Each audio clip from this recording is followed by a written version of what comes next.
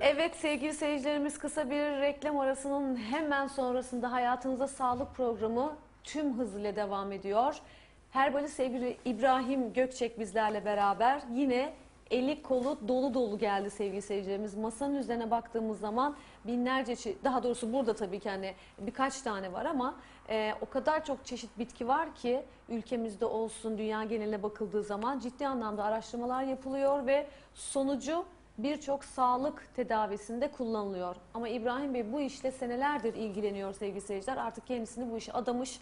Hastaları, daha doğrusu geri dönüşler, e, ürünleri olan talep, ilgi gerçekten m, kullanıcı görüşleri olarak çok çok önemli, mühim ve bu anlamda da ciddi anlamda olumluluk taşıyor diyelim.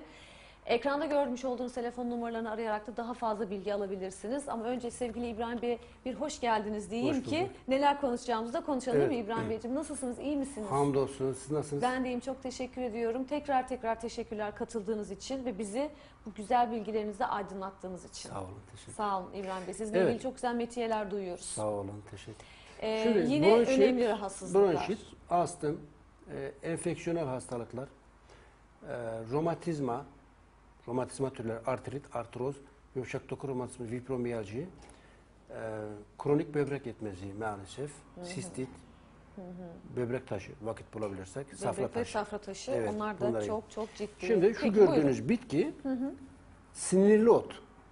Sinirli ot şöyle yaprağı mızrak gibi. Evet. Uzun bir sap. Yeşil yani sulak yerde yetişirse uzun büyük bir- Daha da uzar mı evet, diyorsunuz? uzar. şöyle püskülü var. Çiçek açmış. Mısır'a benzemiş değil mi İbrahim Bey biraz? Minik. Yok. Şimdi bunun yaprağı şöyle taze yaprağı. Evet.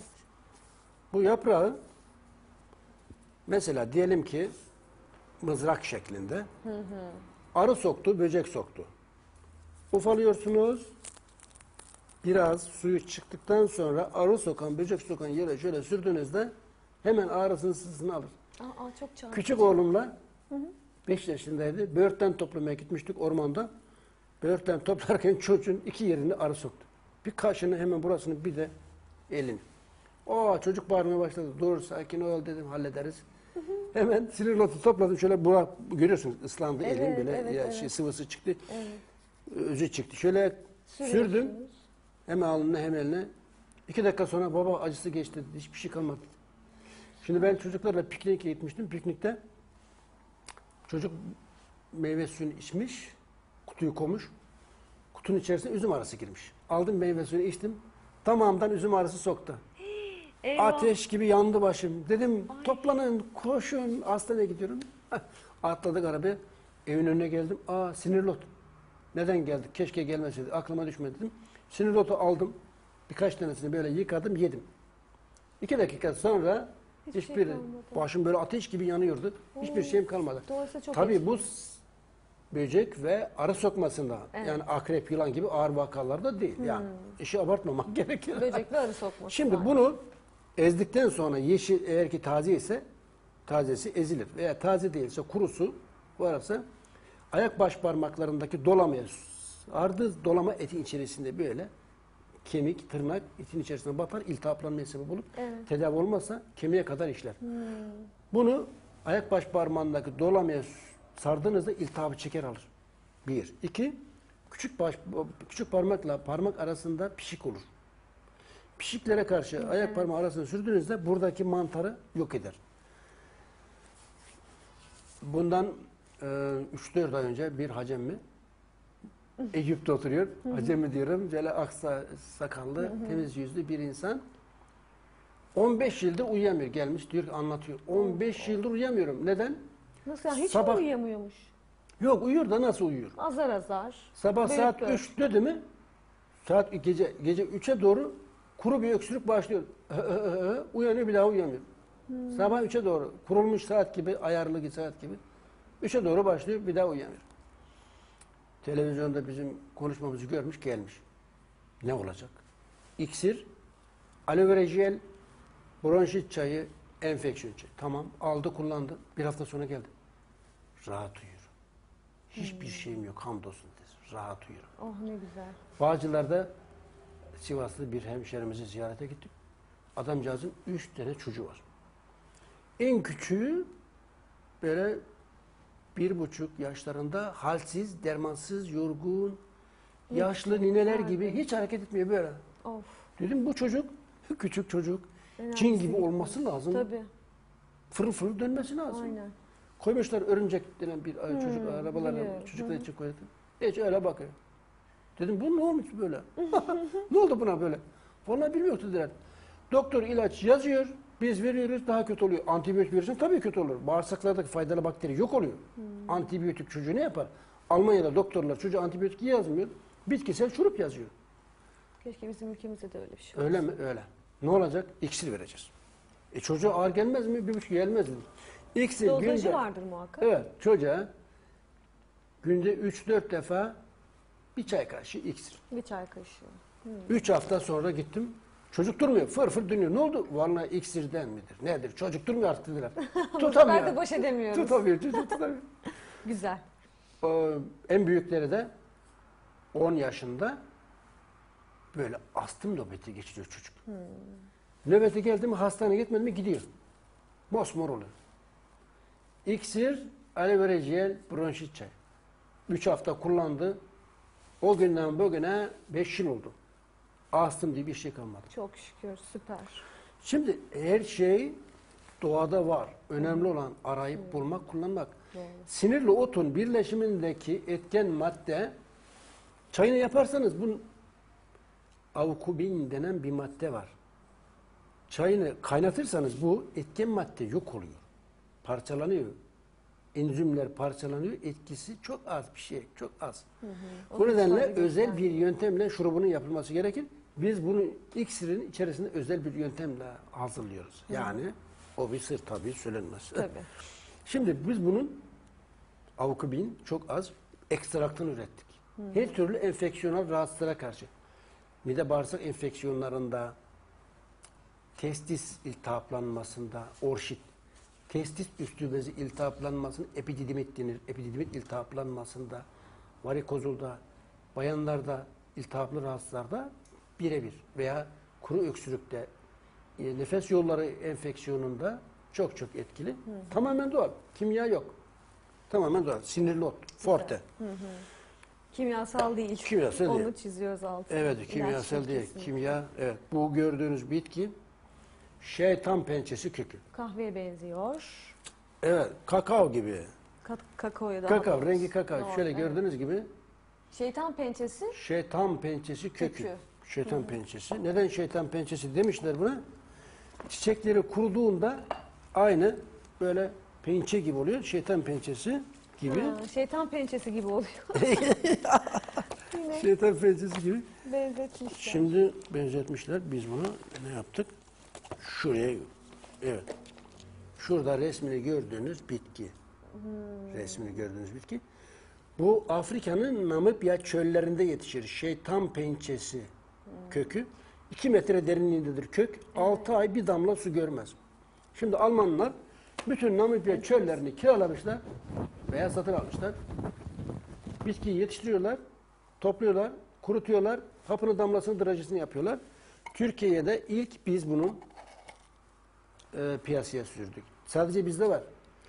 Bununla ilgili Alman Profesör Doktor Profesör Doktor Kubrinski Freiburg Üniversitesi'nde yapmış olduğu araştırmada omuz, sırt, bel ağrıları, kalça ağrıları, diz ağrıları, eklem ağrılarına karşı etkisi ispat edilmiştir. Romatizmanın her türü artrit, artroz, fibromiyalji, ankilozan spondilite karşı etkilidir. Şimdi Düzce'de bir beyefendi genç 19 yaşında ankilozan spondilite yakalanmış. Yani o rahmetli Sunay Pek Uysal gibi eğilmeye başlamış hafif. Hem de 19 yaşında. 19 yaşında yürüyemiyor. Perişan olmuş. Eklemleri iltihaplanmış. Erkekler yavaş yavaş kalça ve omurlar kaynıyor. İlaç kullanmaktan perişan olmuş. Kortizon, kortizon, kortizon. Dedik ya yok mu bunun çaresi? İnşallah var. Bakalım deneyelim, görelim dedik.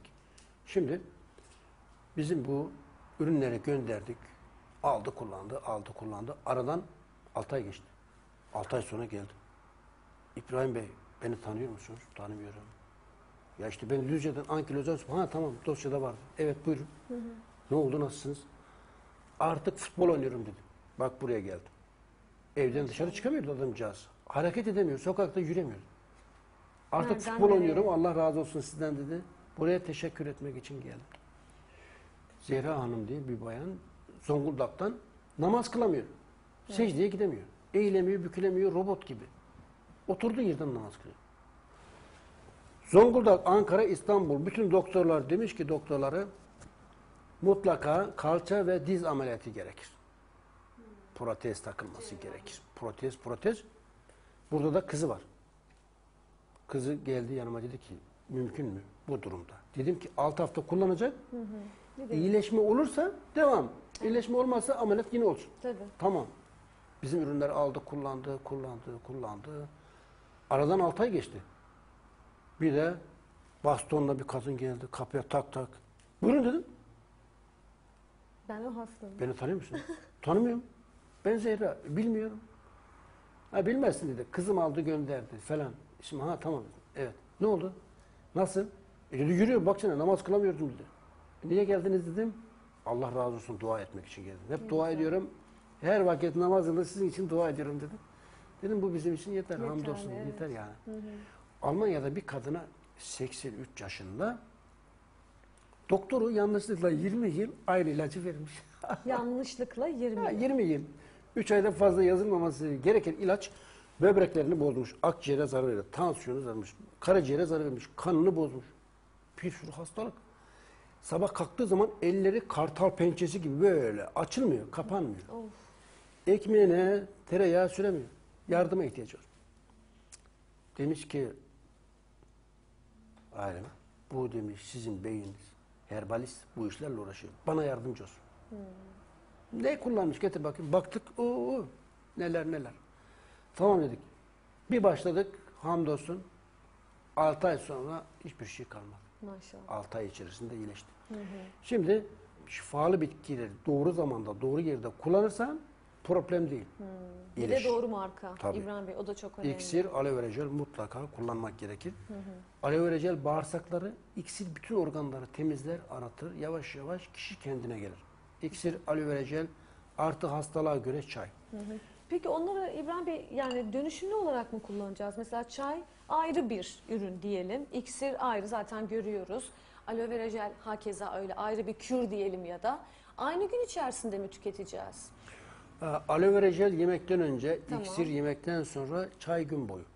Tamam. Aloe vera jel yemekten önce günde 3-4 defa 2 yemek kaşığı yarım çay bardağı da içebilir kişi. Ağır- Yani bazı insanlar iksiri direkt olarak yarım çay bardağı içerse ağır gelir. Çünkü iksir vücuttaki cerrahat corufu çözer. Çözdüğü için de böbrekleri sürmekte zorlanırsa baş ağrısı yapar. Ağır hastalar hafif bir yemek kaşığıyla başlayacak yavaş yavaş artıracak. Evet. Kullanımla ilgili zaten iyileştirin. daha fazla bilgi için sevgili seyircilerimiz danışma hattını görüyorsunuz efendim ekranlarınızın hemen altında. Hemen şimdi arayabilirsiniz. Önce bir İbrahim Bey dinleyeyim ondan sonra aramak istiyorum diyebilirsiniz. Yani yayından sonra da arayabilirsiniz. Ne zaman istiyorsanız yeter ki arayın. Yeter ki sağlık noktasındaki problemlerinize sadece bitkilerden yararlanarak kurtulun. Ama demin de İbrahim Bey altın çizdi. O çok önemli. Doğru zaman, doğru ürün ve doğru kişi. Değil mi İbrahim Bey? doğru. Şimdi bu gördüğünüz altın başak otu. Ha bununla ilgili e, bir doçent doktor televizyona çıkmış diyor ki eline altın otunu almış başak otu diyor. Bitkiyi tanımıyor. Telefon ettim bağlamadılar. Altın otuyla altın başak Altın otu. otu sapsarı bir bitki. Sapsarı ölmez çiçek de denir. Sapsarı bu yeşil. Yeşil, ha yeşil. Evet. Altın başak otu. Sadece çiçeği sarı. Çiçeğden kuruduğu zaman rengi kayboluyor işte. Yeşil. Şimdi altın başak otu dünyada böbrek, mesane yani idrar yolları rahatsızlığına karşı en etkili bitki. Bununla ilgili klinik araştırmaları var. Çok güzel bir bitki. Bundan iki yıl önce bir beyefendi diyalize giriyor. Levent Mete o zaman Bodrum'daydı şimdi Antalya'ya yerleşti. Beni aradı dedi ki ya böbrek yetmezliğinden dolayı diyalize giriyorum. Kreatinim altı buçuk. Bende raporları var hepsi. Belge var. Hepsi var.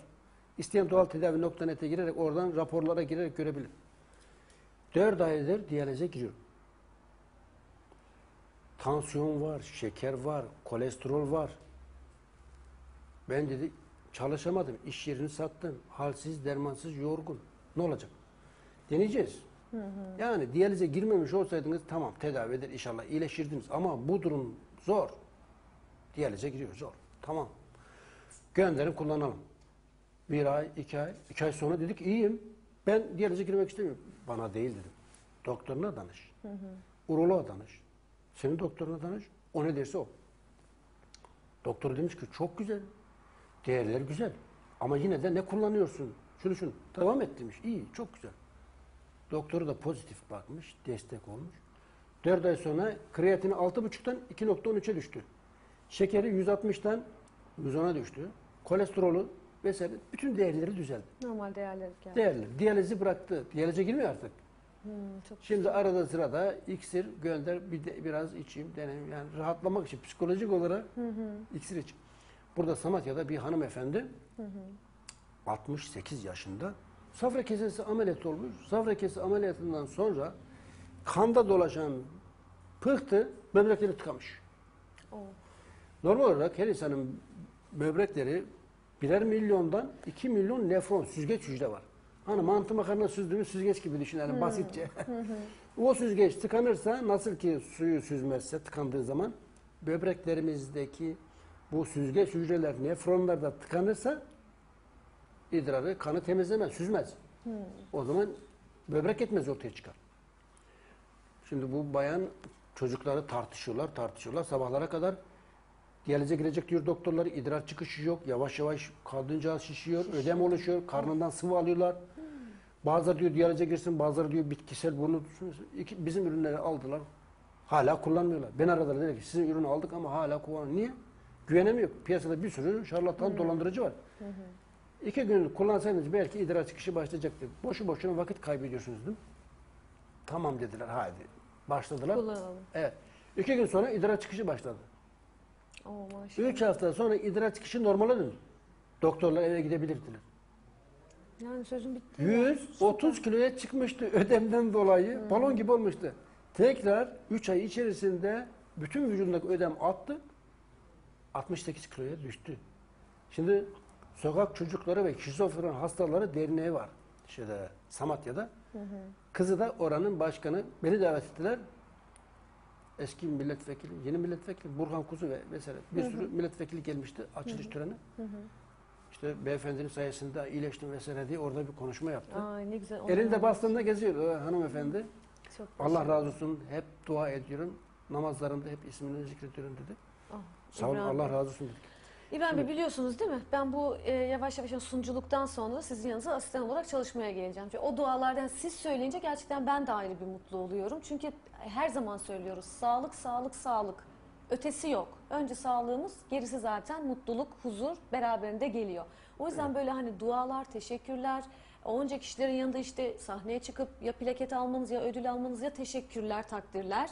E, bunlar inanılmaz güzel şeyler. Manevi olarak inanılmaz haz olsa gerek. Evet elhamdülillah. Çok Yani. şükür. Peki son dakikalar toparlayalım İbrahim Evet. Bey. Kronik böbrek yetmezliğini tetikleyen sebeplerin başında yüzde 99 tansiyon hapı, diyabet hapı, kolesterol hapı. Bu üç hap. Vatandaş diyor ki ya günde bir tane hap atsam ne olur? Atıyorsunuz ama sürekli böbrek gidip süzecek bunu. Tabii. Sürekli ve düzenli alınan tansiyon hapları, diyabet hapları, kolesterol hapları böbrekleri çürütüyor. Bu Aman nedenle Dikkat. hap alanlar sonunda diyalize mahkum kalır Allah korusun. Haptan kurtulalım. Tansiyon nedir ki? Tansiyon alıç kullandığınız alıç forte tansiyon problemi biter, kolesterol problemi biter. Veya keçi sedefi forte şeker hastalığı biter. Çok kolay. Peki. Her şeyin çözümü var. Ölüm Çözüm hariç var. diyoruz. Elhamdülillah. Yeter ki araştıralım sevgili seyircilerimiz. Tekrar tekrar teşekkür ediyorum İbrahim Bey. Eksik olmayın.